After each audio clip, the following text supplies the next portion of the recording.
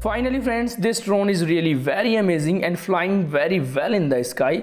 The size of this drone is really very mini and having the good camera quality. I hope friends you just like this video. If you like this video then hit on like button and subscribe to my channel for more interesting videos. At last, thanks for watching and bye bye.